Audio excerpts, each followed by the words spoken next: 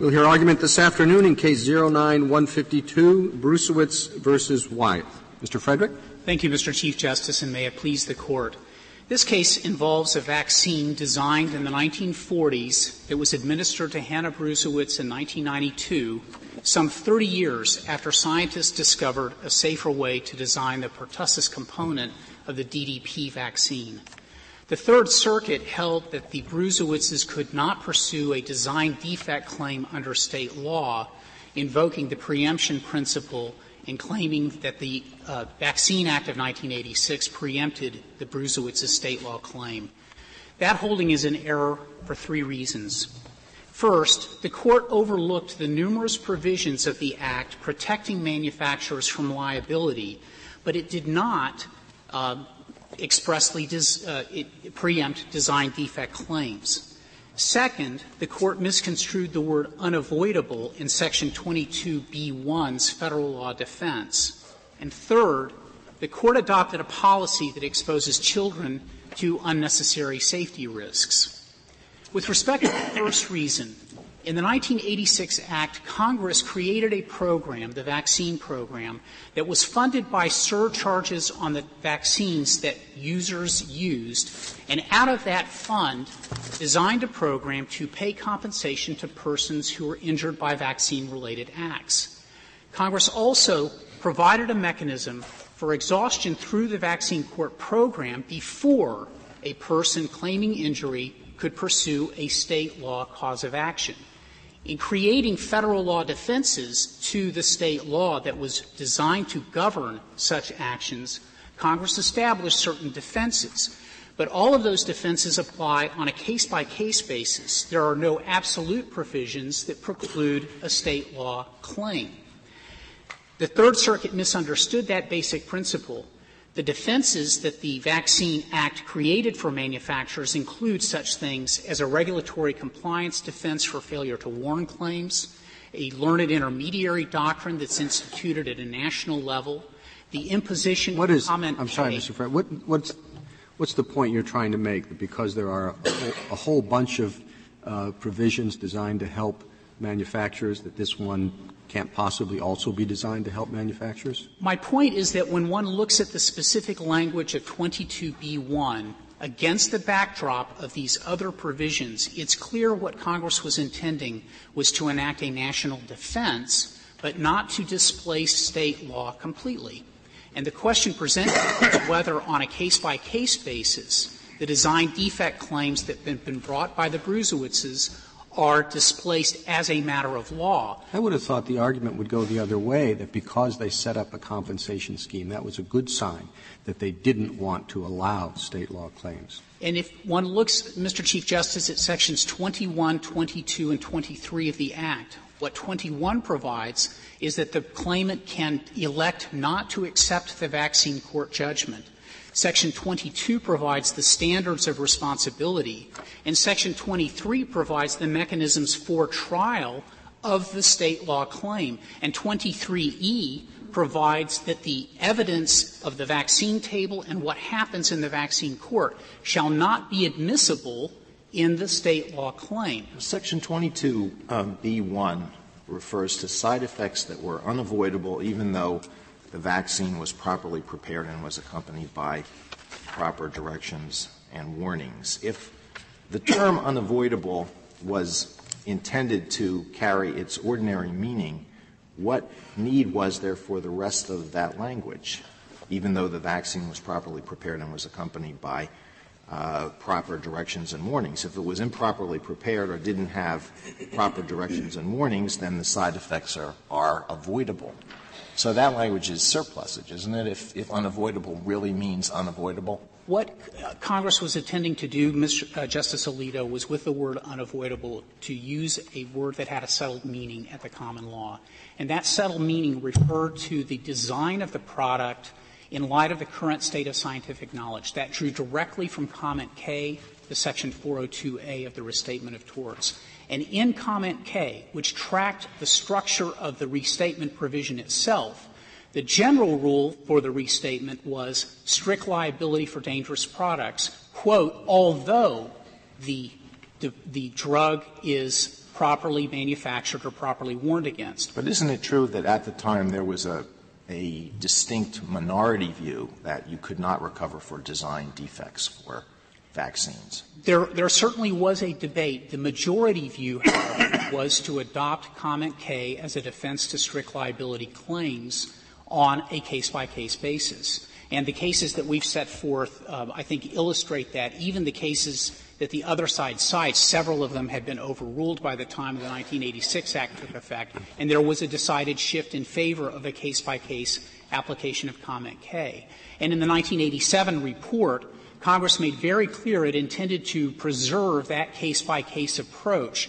That is set forth at page 50 of our brief, Justice Alito. So when one looks at both the words that Congress used in 22B1 the debates that occurred and the committee reports that explained what Congress is intending here, the, we believe the intent is unmistakably clear to adopt comment K as a defense to. But, but you haven't really answered Justice Alito's question as to why the, the later language is not surplus.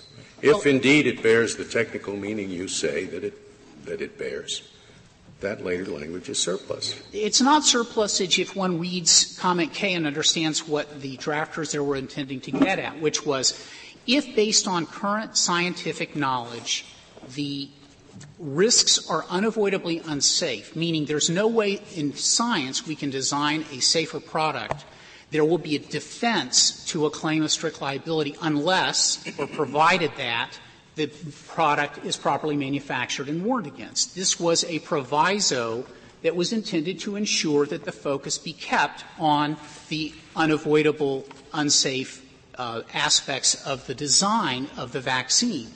Now, the other side's view takes other words of 22b1 and renders them surplusage. And I'm looking now at page 19a of our reply brief where we've set forth the statutory language if, if you want to follow along here. What the other side's view is that after the word if, following the date October 1, 1988, I'm at page 19A um, of the reply brief, the addendum.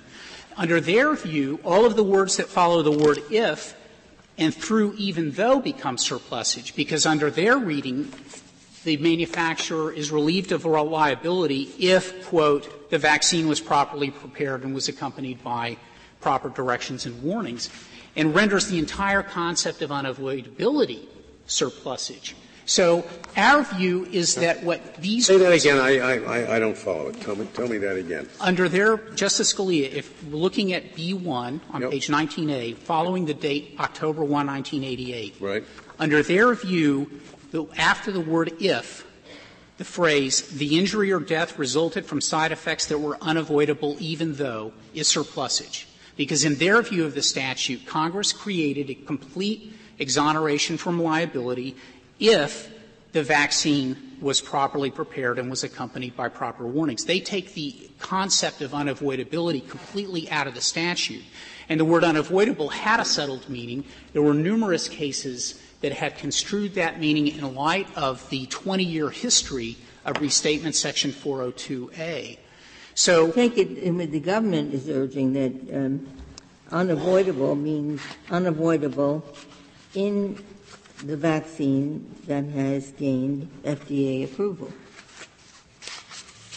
Justice Ginsburg, that position is incorrect, and there is empirical evidence indicating that the manufacturers, let least Mr. Johnson, testified that the problem with the 86 version of the statute was that it allowed for design defect, defect claims to go forward, and he urged there to be a regulatory compliance defense. So you're asking us to interpret this statute in light of his testimony at a hearing? What I'm saying is that Congress had choices, and one of the choices was to adopt the regulatory compliance defense for design defect claims, that it chose but not it, to do that. It seems to me the language supports the reading Justice Ginsburg as just suggested, or the government suggests, with the use of the word the. It says the effects were unavoidable even though the vaccine was properly prepared. Your position is, well, the question is whether unavoidable if you could have prepared a different vaccine. But this says unavoidable even though the vaccine was properly prepared. Right, and it's preceded by the word if, Mr. Chief Justice, and if suggests. I, I don't see if. It's right after Result, the date, 1988. He's, he's if if the injury resulted from side effects. So it is looking on a case by case basis in that context whether the vaccine created the injury or side effect that is being complained of. Yeah, Mr. Frederick, I, I, have this problem with, with, with your interpretation. Um, as as um, has been said, the government interprets unavoidable to mean uh, unavoidable with respect to the vaccine that has been approved. Uh, if it doesn't mean that, if it simply means unavoidable with some other vaccine, well, you could always avoid them if you have a vaccine that is significantly less effective. What, I mean, what other vaccine are you comparing it with? Justice Scalia, let me try to clear this up in this way. All these vaccines are approved by the FDA. And the question is whether you give a presumption of design correctness for all time based on the FDA's approval of that vaccine. This vaccine was approved. Well, I understand, but the plaintiff comes in and says, "Look, at uh, you, you, could have, uh, you know, eliminated uh, this, this, and this, and these side effects would not occur." Of course, the vaccine would only be uh, effective in 75 percent of the cases, but nonetheless, it was avoidable. And that's why the concept of unavoidability as a defense always rested on the current state of scientific knowledge. In the 1960s, well, Lederle That doesn't answer my question. I acknowledge it rests on current scientific knowledge. But current scientific knowledge would enable you to, to design uh, a, a, a drug that does not have these side effects, even though it's significantly less effective. And there's no criterion as to how much less effective uh, it, it, has to be to qualify and so forth. Whereas the, the government's interpretation of the word ties it to a to a particular vaccine. Justice Scalia, the way these cases were construed, and we've cited them in our reply brief, the standard was whether or not it was as safe as a feasible alternative, but was, uh, sorry, as efficacious but, but safer as a feasible alternative. That's how the courts, uh, the state court. It has to be just as effective. It has to be efficacious. That's correct. Just as sure. effective. I'll concede that point. The, the problem here was that an efficacious design existed as of the 1960s, and the internal documents indicated that Lederle. Keep saying that, but didn't I understand correctly that that drug was withdrawn from the Japanese market in which it had originally been? No, let me clarify. There are two theories here by which there was a design defect claim. One concerned a product by Eli Lilly called Tri-Solgen. That was a split cell vaccine that was developed and sold in the 1960s. It was demonstrated to have far less uh, serious effects for encephalopathy and other uh, residual seizure disorders and problems. Was it proven that it was as effective? Yes, it was, and it had 65 percent of the market. And could it be used for all five? Um, there, there, are five uh, inoculations in this series. That's you know, correct. one of them was not approved for the first three. That's, that's the second one to, for Justice Sotomayor. This was an acellular technique that had been studied in the United States in the 1950s and eventually was developed by the Japanese in the 1980s. That acellular technique was eventually approved by the FDA in the mid 1990s and is now uh, common in all of the um, three part DTaP vaccines that are currently on the market. Our point is that the scientists by Lederle knew about that acellular technique. They were beginning to do tests, but they didn't aggressively do it for economic reasons. And that has never been. But is there, if there is a safer alternative, it must be pursued regardless of cost? No, there's a reasonableness standard. The standard of due care that state law and tort has always had is what is a reasonable manufacturer do in same or similar circumstances. But that's a question ultimately of fact, whether or not the economics. Ultimately a fact in a case by case determination in every state. The manufacturers would probably be worse off under your approach than if they didn't have the law at all, because they, the, the, the, law seems uh, to at least qualify section, uh, comment K. Justice Kennedy, that was the whole um, design of the vaccine program. Because if you channeled most claims into something that the manufacturers didn't have to defend against or pay the judgments of, the thought was that the vast, vast majority of people would never go to state court. And it would only be in those rare circumstances, like the problem we have here, where the vaccine court awards nothing, that the Bruesewitzes even had to go to state court. Had they filed their claim a month earlier, when residual seizure disorder was still on the vaccine table, we wouldn't be here. Why was it taken off?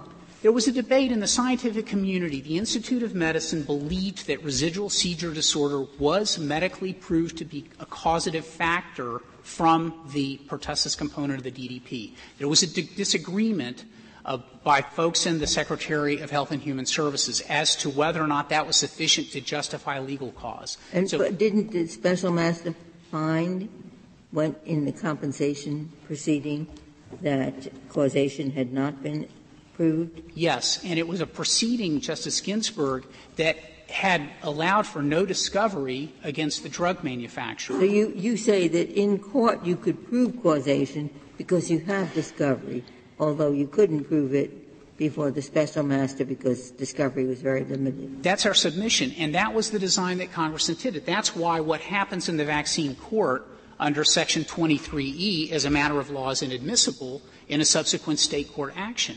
And can you add that maybe this is a good point, but I would like to know what your response is. I'm not asking you in either a hostile or friendly way. Uh, the, the assume for the moment that the language I cannot find clear one way or the other. So I think it's ambiguous. At that point, what is your response on that assumption to this brief on the other side from the American Academy of Pediatrics and 21 other physician and public health organizations? what the pediatricians here say is that if you win, we're turning this over to judges and juries instead of the FDA and other specialized agencies, that the result could well be driving certain vaccines from the market, and basically a lot of children will die. And, and that's uh, their claim. And I think that their legal argument there is that wasn't Congress's purpose. Congress's purpose was the contrary.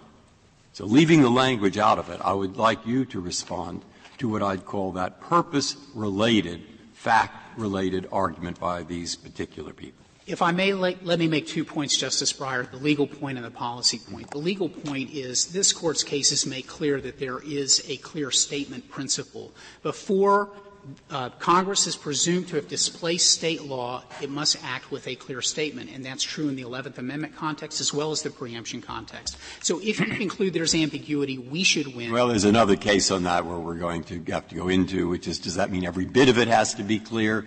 Does it mean the intent has to be clear? That's a complicated area, but I'll, I'll put that aside for the moment. Here, 22A answers that question as a matter of law because it says state law provides the general rule.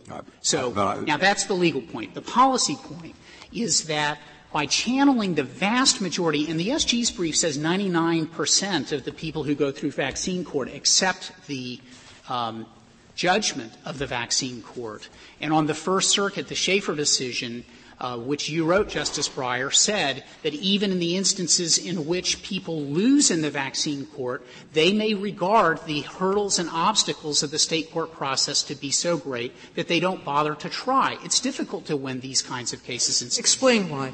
Because proving causation and proving the availability based on science of an alternative design is not something that is a relatively easy thing to do. Right, but that's, that's why I asked the question.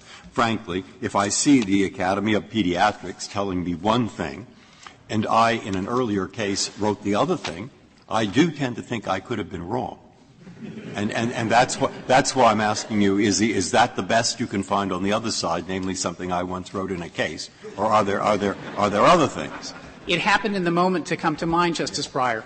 The point that I want to make is that the threat of liability is only a realistic one if there's a threat that there's actually going to be payment at the end. And plaintiffs do not bring cases to lose they bring cases if they have a reasonable prospect of winning based on what the evidence would show a design defect to be. And so when Congress set up this system and it exonerated the vaccine makers of 99% of all cases that are going to go through the system claiming um, uh, defects or problems. If you ask manufacturers around the country that you get a special defense against punitive damages, you get a regulatory compliance defense for failure to warn, you have to have a trifurcated proceeding, and you're not going to have to pay damages or defend the actions 99% of the time, most manufacturers in the United States would take that bargain.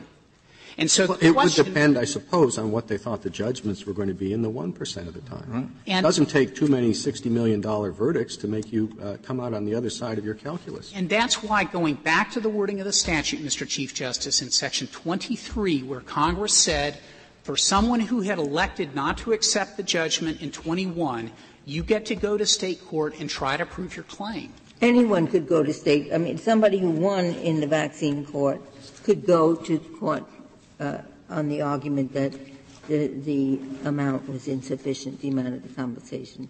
There's, there's no foreclosure of anyone to come to court. Is that right? That's correct. But you have to fight through the defenses that Congress erected in 22B1, B2, and C, which are quite difficult defenses to prove. What would happen if the, if the, drug manufacturer uh, sought uh, FDA approval of an alternative vaccine, and the injury occurred during the period while that was under consideration by the FDA. That's that's just too bad. A harder case, but not one that couldn't be proved under state law. The, the negligence inquiry would look into whether or not a reasonable manufacturer would have tried earlier and more aggressively to obtain FDA approval. Here, we think we can meet that standard because we had a drug that was on the market, the split cells Tri-Solgen, that was proved to be safer and just as efficacious, and it had been on the market until Wyeth took it off. After Wyeth concluded that when it purchased the rights from Eli Lilly, it couldn't manufacture the vaccine Tri-Solgen in a way that it gave it the profit stream that it wanted. In the, when it was, when Tri-Solgen was owned by Lilly, you said that, that it was approved and marketed, was that one available for all five inoculations? Yes. Yes, Justice Ginsburg. That was used for all through the series for uh, children's vaccination for DTP. And the problem here with the other side's approach fundamentally is that not only does it render part of 22B1 surplusage, and not only does it ignore the many benefits that manufacturers got, but at the end of the day, it allows for an exoneration from liability even for manufacturers who know there is a safer design available. And that fundamentally is something Congress never would have imagined that manufacturers would invoke an immunity from suit even when they knew does the there was a safer way to Does the Secretary have the authority to uh, with, with, withdraw certification on the ground that it's no longer safe, pure, and potent? Yes, uh, Justice Kennedy, there is. So you're assuming that the manufacturer knows something that the Secretary doesn't? No. Our submission, Justice Kennedy, is that for many vaccines there is no safer alternative, and there could be no design defect claim. But for those instances in which there is a safer alternative, the burden under state law is for the manufacturer to act reasonably in pursuing the safer design, if that is available. It's not, there is no provision in the FDA regulations or under statute for the FDA to engage in a comparative safety analysis. The is there any provision in the regulations that require a manufacturer to withdraw a drug earlier than when the FDA tells them to? Not that I'm aware of. So this immunity would come along until they go to the FDA and say, well, we've gotten enough incidents to prove. That's correct. And this very vaccine, Justice Sotomayor, was taken off the market in 1998. And the product that Wyeth used as the substitute for it says in its package insert, this is a safer vaccine than the Tri-Immunol that we've taken off the market. But I'm not sure that in most cases you're going to be able to tell immediately you're marketing one vaccine and something else is either being tested or about to be approved or is on the market, that that's safer, particularly since you have to look not only at whatever injury, mortality rates, but also efficaciousness or efficiency, I guess, in terms of the, the vaccine. So you don't know right away. Somebody comes in, here's a different vaccine. Your vaccine causes one death every 10,000 doses or whatever it is. And the other says this is better. It's one death every 12,000 doses. And you say, well, but ours is more efficient in stopping the vaccine. Well, how much more efficient? Well, it depends on the judgment of a jury. And the manufacturers win that case, probably, Mr. Chief Justice. I mean, it's Well, a well, but, practical but, but, but, but you assume that there's no cost or burden to the manufacturer to defend these suits, to uh, ass- assess uh, settlement offers. Uh, This is, this is a a tremendous expense.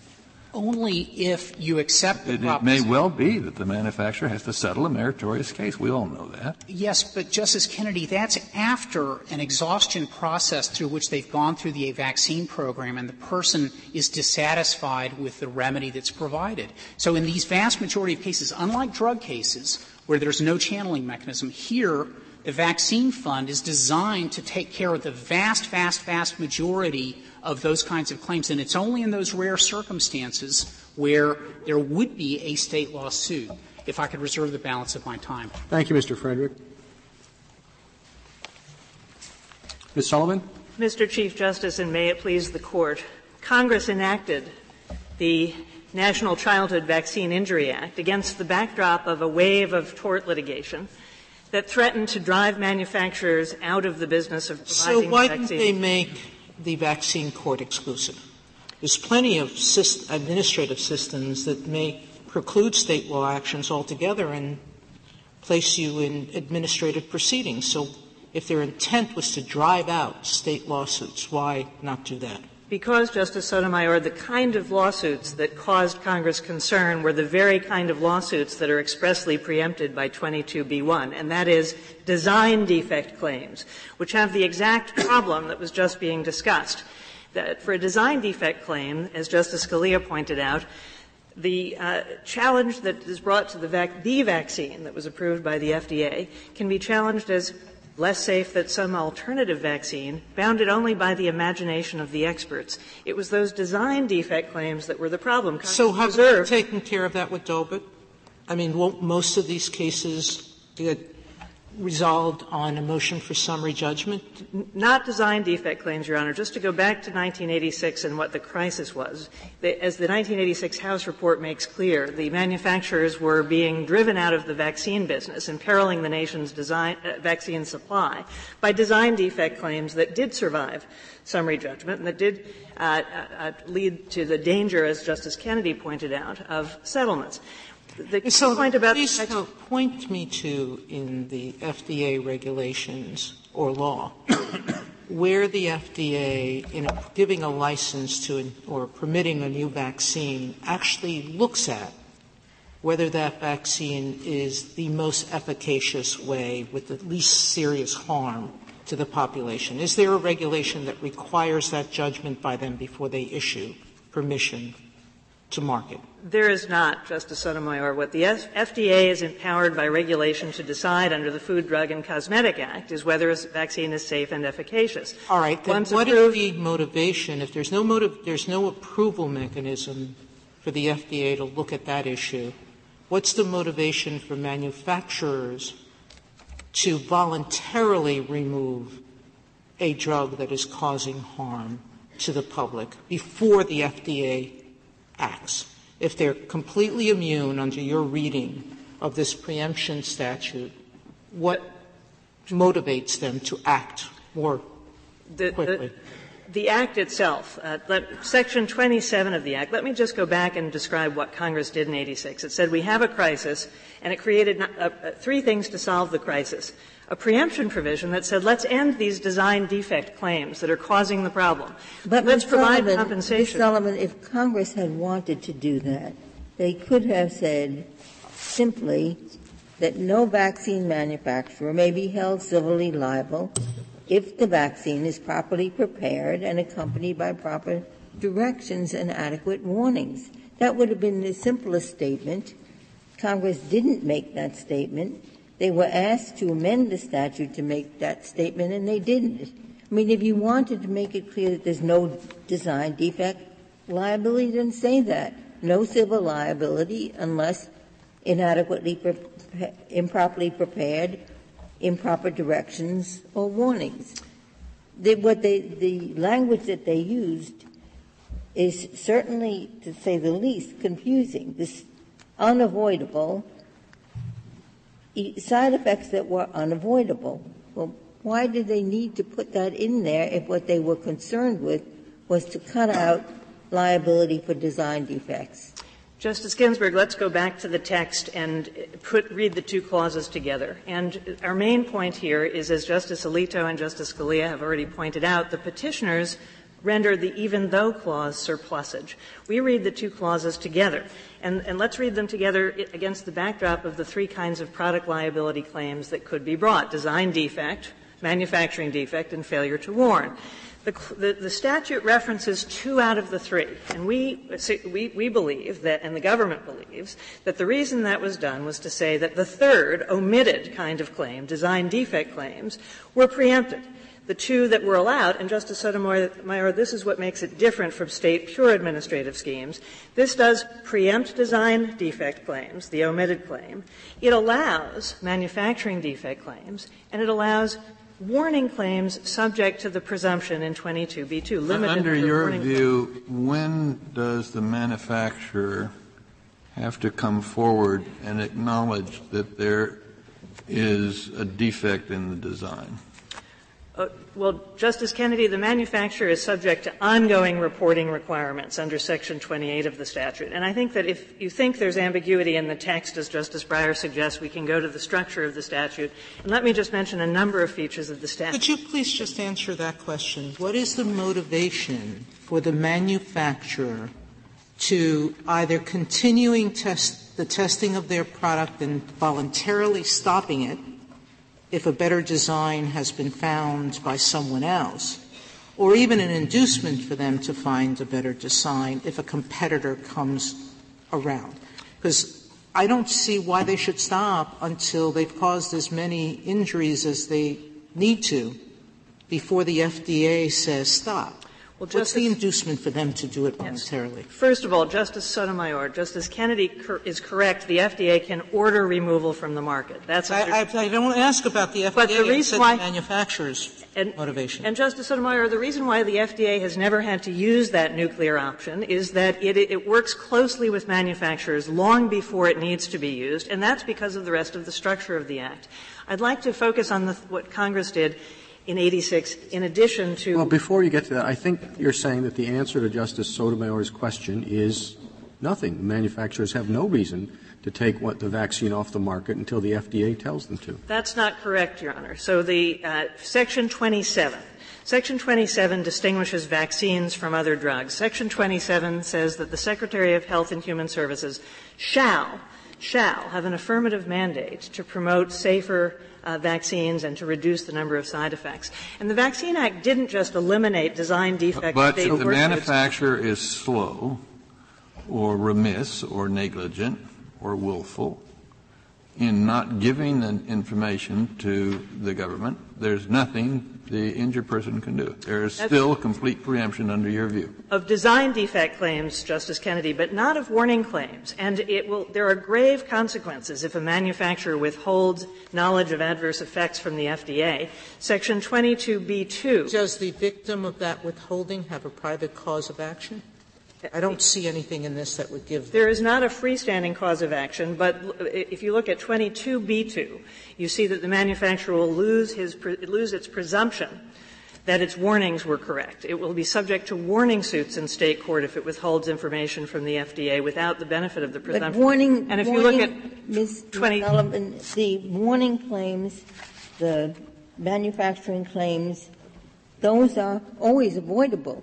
Always avoidable, exactly, Your Honor. But so what can be the only thing that can be unavoidable is the design defect. That's exactly right, Your Honor, and that's how the text makes sense. To go back to the text, the text says there are two kinds of avoidable uh, side effects. Side effects that come from improper preparation, well, of course, the manufacturer can avoid those. It can prepare the vaccine better without contaminants and it can avoid warning defects by changing the warning. Well, the warning Congress doesn't have to say warning. We could make something better if we wanted to. It does not. That's correct, Your Honor.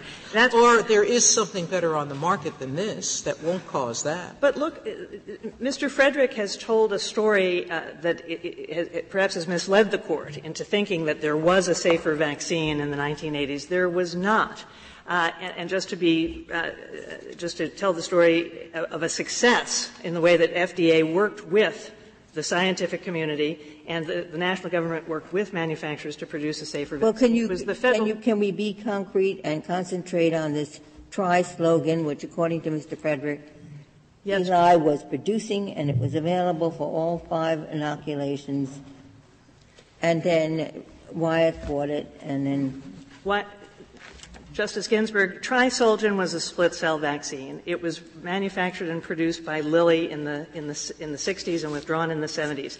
But Mr. Frederick is incorrect that the government ever deemed it as effective and safer than uh, uh, the, the whole cell vaccine, Tri-Immunol, that was administered in this case.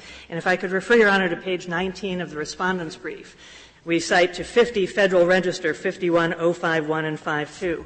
That's where the FDA specifically determined that Tri-Solgen was not safer, was not safer than Tri-Immunol with respect to seizure disorders or other severe effects. It simply had, uh, it may have involved less local effects like fevers and rashes. So there was never any government determination that Tri-Solgen was safer. And in fact, Tri-Solgen came off the market. Why? Because Section 27 worked. The federal government worked to promote safer vaccines. How, how does it do that? Look, I think the, the a difficulty I have is this. Imagine vaccine X saves 10,000 lives, but inevitably 20 children will be killed. All right, that's inevitable at time period one. Five years passes. The manufacturer now realizes he could save three of those five people. Right, is there anything in the law that requires him to tell the FDA that that is so? There is not anything that requires him to tell the FDA. All right, then if there is nothing that requires him to tell the FDA what comes along, what I think your opponent is saying is at that moment it is no longer an unavoidable harm. And there is nothing in this statute that says that unavoidable ish harms are, are that avoidable harms are taken away from the courts. So, so what is your response to that? He's saying all the unavoidable ones are taken away but not the avoidable ones. And now we have an example of where they okay, so what is your response to that? That unavoidable in the statute is a term of art, and to the extent that comment K is relevant at all, Mr. Frederick says, oh, Congress was adopting comment K, the majority view. Well, first, it, there was not a majority view. You want to read it specially to mean unavoidable and avoidable. Let's assume you're right about that. Uh, let's assume that, or at least it's ambiguous. If that's so, then what's your response to the question I raised before? That is that he says that if you allow judges and juries to decide only the question of avoidability, there will not be the harms that the childhood pediatricians thought there would be, because most people will go to the court, to the vaccine court anyway. There are very few such cases and there will not be enough liability to drive manufacturers from the market. Well, you heard him respond to that. What's your response to that? First, there will be enough liability to drive manufacturers from the market. And let me correct some things that Mr. Frederick uh, said that were not true. The vaccine court, 99% of those who receive monetary judgments in vaccine court, the administrative no fault system, do accept their award. But what Congress was concerned about was those who lose in the administrative system and then go take their second bite at the apple in state court, where, as has been mentioned, they're not bound by any findings in the vaccine court. There, 23E says just a minor point, but I thought if you went into the vaccine court, you had to sign something saying you weren't going to go into a tort case. I'm wrong about that. No, you go into vaccine court and there is an exhaustion requirement. 22B1 must add something to the exhaustion requirement. We say it adds a preemption provision, but you, you, you can elect at the end to uh, take the judgment or not. Those who get money in vaccine court, 99% take it. What we're worried about is the 64% who lose in vaccine court. What do those 64% do now? What's they, the percentage of those people that I, actually go into court now? I can't answer that, Your Honor. Is that because whatever the percentage is, proving causation is never easy? That's true, Your Honor. For a non-listed But there are 5,000 claimants in vaccine court now who claim there's a relationship between the mumps, measles, and rubella vaccine and autism. They have lost all six test cases, and when the individual cases are resolved, that is 5,000 potential claimants in state court. Congress was worried about episodic waves of fear about vaccines leading to future litigation. They took care of existing claimants with vaccine injuries back in 1986 with the compensation system. The reason they put in 22B1 was to prevent future litigation in state court where manufacturers could be driven from the market by the fear of liability that had in, in 1986 involved the withdrawal of insurance, the escalation of insurance costs, the withdrawal of one manufacturer from a vaccine market. And today there are very few man- vaccine manufacturers and the risk to the vaccine supply on which the nation's protection from contagious disease depends depends upon the existence of that stable uh, supply of If. Congress was so clear as you describing it, then why didn't it adopt the provision that said failure to develop a safer vaccine would not be grounds for liability? Your Honor, Justice Ginsburg, I think you have to look to the rest of the structure of the Act to see what Congress did here. It did three things that make vaccines quite different from other drugs. And this is not a situation where the FDA has to monitor 11,000 drugs of which it wouldn't even care if they came off the market. Government but the proposal was directed to vaccine. To vaccine. failure to develop a safer vaccine would not be grounds for liability, and Congress didn't enact, enact that. Your Honor, Congress enacted a preemption provision that we think it, within the four corners of the provision of 22b1 preempts design defects. It, it, it, has a carve out for the two kinds of suits that are allowed, manufacture and warning defects. The clear holding of the rest of the text is that design defect claims are precluded. Compensation makes sure that people who do have injuries from vaccines are taken care of. The rest of the structure of the Act injects the federal government into driving the vaccine development process in a way that it does not for other drugs. Congress wants people to take vaccines. It wants us to inoculate all our children. It wants us to have compensation to assure people who are injured that they can get some money to take care of their children's disabilities. But Congress wanted to make sure that it was driving, that the federal government, the FDA, the Centers for Disease Control, uh, together with the NIH, so together with task forces, we're driving research to make making, safer vaccines. You're making an assumption that has a flawed premise which is that their only concern was protecting the manufacturers. Not at all, Your Honor. It couldn't have been because they, they compensated not have, victims. Not only did they compensate victims, but they permitted victims to go into state court. So it can't for manufacturer and warning claims. For manufacturing and warning claims. Just well, no, no, no, no. That's your assumption. My, my, my point is that if we're talking about what the purpose was, you can't assume that two the purpose was compensation and the protection of the vaccine supply. Justice Sotomayor, the clearest way I can so show why, you that what you're suggesting is there's no compensation for an injury that was avoidable in its normal sense, which is if no, this drug had not been sold, no another drug had been used, the person would have avoided their injury. Well, there's no such drug here. Acellular vaccine was not approved by the FDA for use in infants under two until 1996. Uh, it was approved for, for children over two in 1991. That's because in this country we, we require clinical studies that weren't required in Japan a de- decade earlier to make sure that drugs sounds are to me sa- that you're going to win on summary judgment. I, I, I, I don't see. I do understand the cost of litigation. It can be very, very onerous. Um, so I'm not trying to minimize it, but I, I do think that there's a whole lot of hurdles in place before a plaintiff wins on one of these claims. Justice Sotomayor, manufacturing claims and warning claims are susceptible to summary judgment. Design defect claims are not in the same way. You're shadowboxing against an infinite number of theories about how there could have been a safer vaccine. But the clearest way I can say why Mr. Frederick's interpretation can't be right, if, if you concede at least one purpose was to protect manufacturers, to protect the, the, vaccine supply, in addition to compensating victims. Mr. Frederick's reading of 22b1 does not serve that purpose. He reads 22b1 to leave manufacturers in the exact same place after the act that they were before. Go to state court. Try to show that well, there was no safer so, because they set vaccine. up this whole compensation scheme where everybody agrees most were going. I mean, the manufacturers got this compensation scheme which took most of the cases out of State court. So to say they were left just like they were before, before they were exposed to all these claims, now only to a very small part of them. That's not quite right, Justice Ginsburg. There, the, the Act allows all losers in vaccine court to go to state court. There are 5,000. Yes, I got, I got that answer from Mr. Frederick before, but most of them don't because it's cheaper, faster, and it's been working well. For vaccine court winners, that's true. For vaccine court losers, the fear was that these lawsuits would drive manufacturers out of the, out of the market, even if the, the manufacturers could win in the end. For a preemption provision to do any work, it needs to attach at the beginning of the claim. 22E, for example, refers to bringing an action. Uh, 20, 22B1 to do any work to protect manufacturers has to attach to prevent the cause of action from being brought. If it just clear what what I'm still not clear what answer you gave to Justice Ginsburg's question. Said, why didn't Congress put this out in plain words? There should be no liability for design.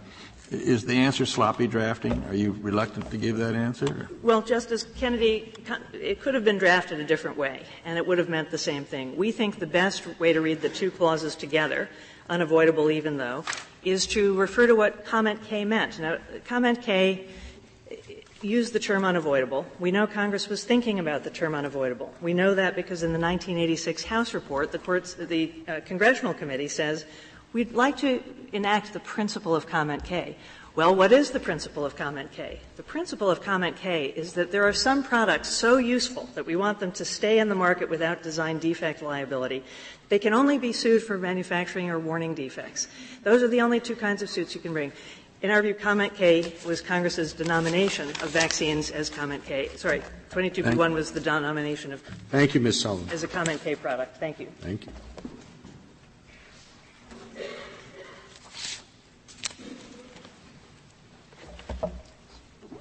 Mr. Horwich.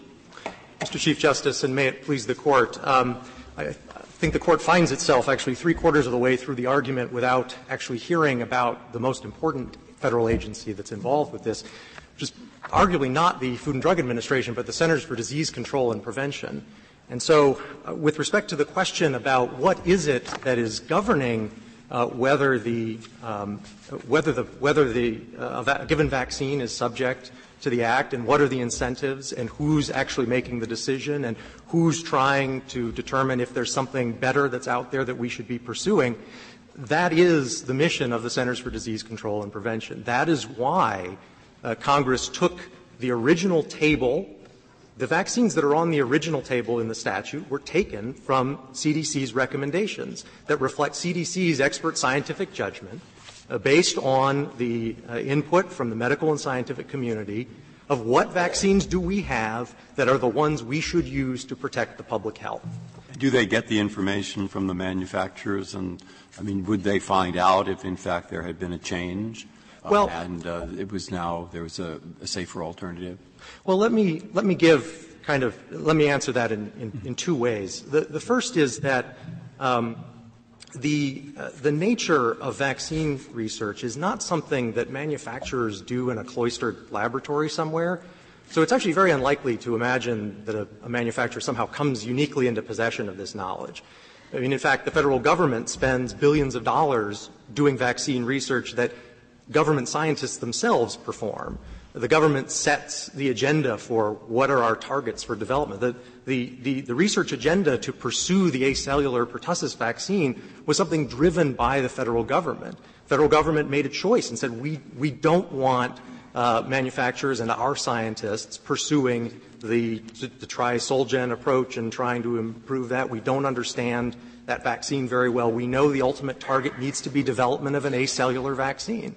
And so that's the research path that's Suppose then that in you suppose I look into this, which I will do, the, the CDC and what they do, and suppose I become convinced you're completely right that that this is a, a government agency that's on top of this, and the chances of something going wrong are very small, and they'll figure it all out together with the manufacturer. Okay, suppose I conclude that. What do I do about this word unavoidable?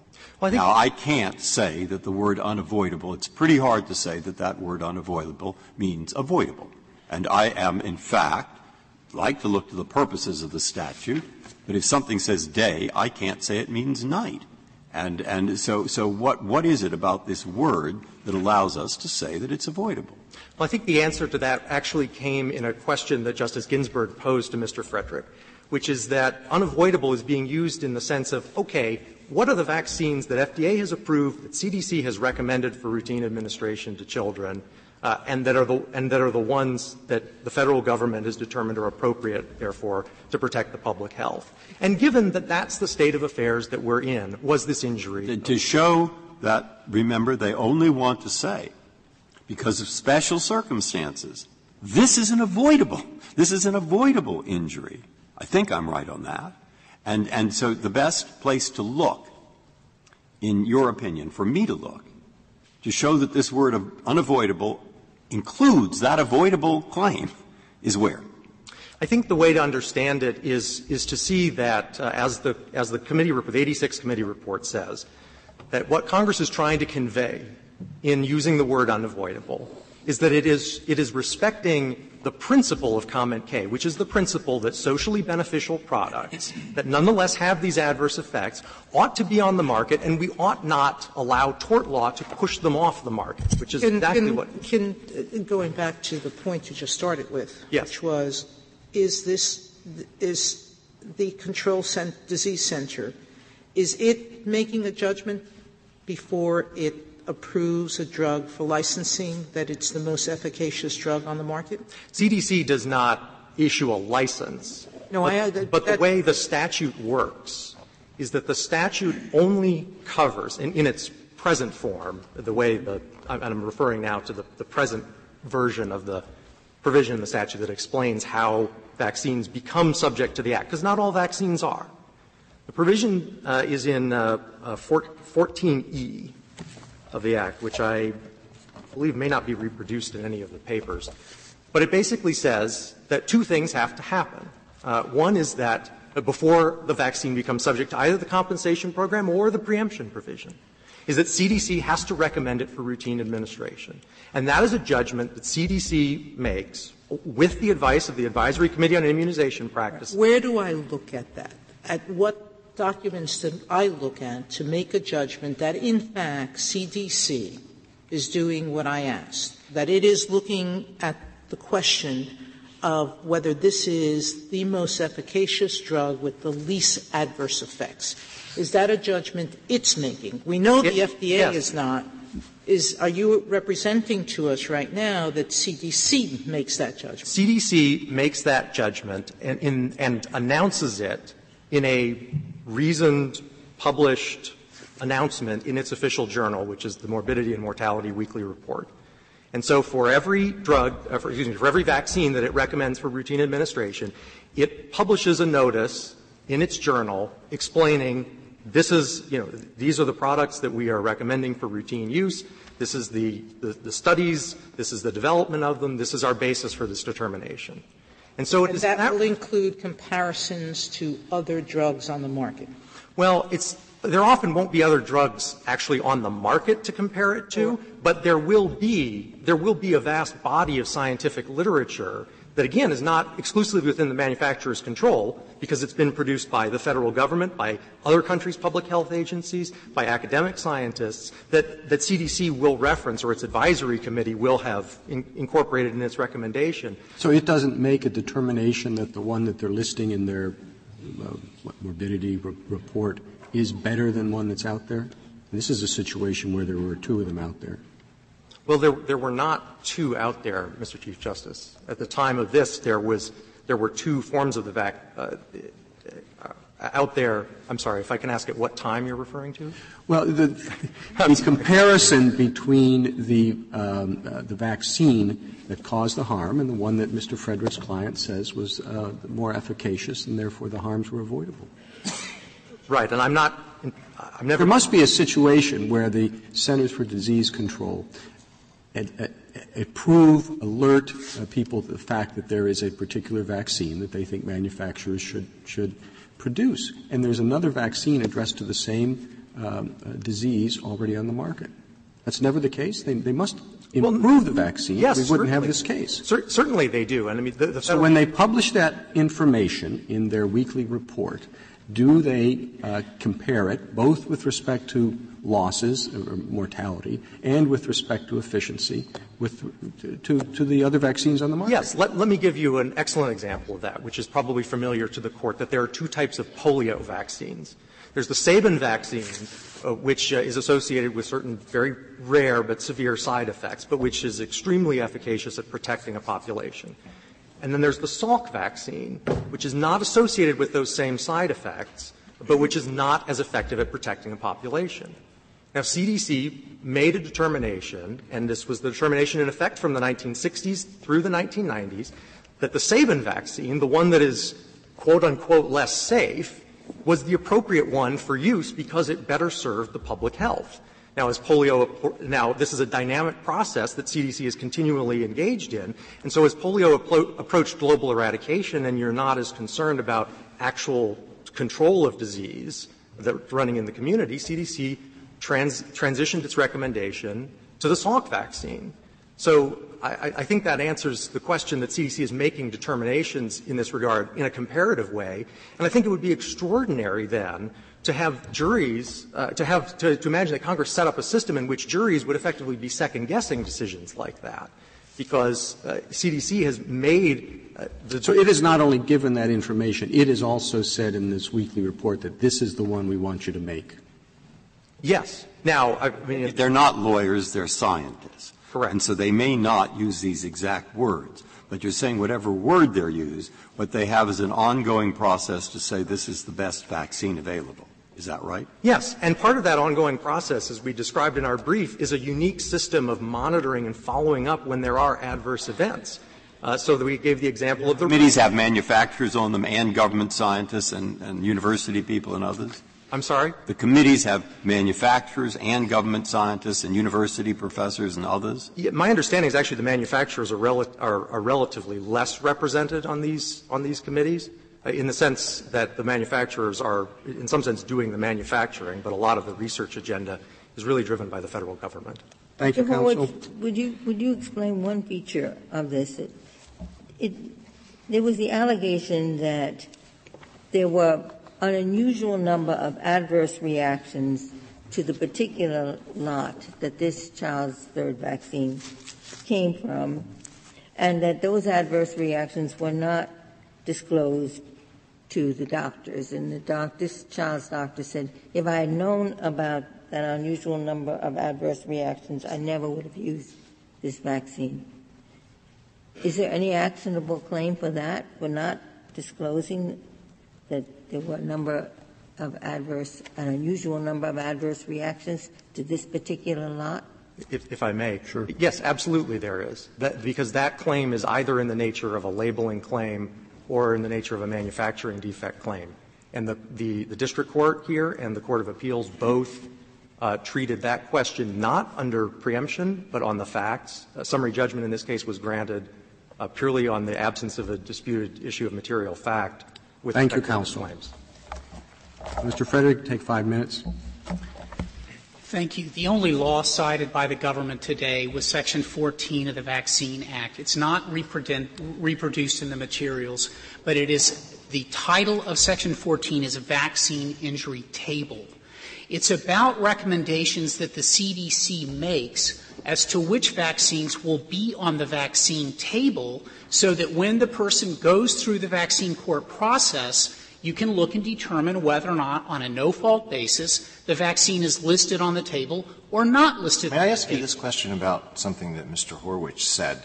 Uh, under your understanding of this scheme, if a, a person suffered a very serious injury as a result of the Sabin vaccine during the period when the CDC recommended that over the Salk vaccine, would the uh, would that the injured person have a claim for design defect if the person could, could produce experts who said the CDC was wrong, that they should never have made this recommendation? Um, it's not that the CDC would be wrong, Justice Alito. There's a difference between strict liability and a no-fault arrangement, and where negligence would be asserted that a reasonable manufacturer would have come forward with information about a safer design. So what Congress explicitly rejected, and they voted this down in the Energy and Commerce Committee, was a regulatory compliance defense solely on the basis that the FDA had approved well, the this design. May be this might be the, what Congress wanted, and it might be the better policy. But your, your answer to, to my question is that yes. that would permit a lay jury to say, relying on experts produced in court, the CDC got this wrong. The Salk was, vaccine was really the better one. The, there was a design yes, defect. Yes, that would be a viable design defect claim. And let me give you an example right out of the joint appendix in this case.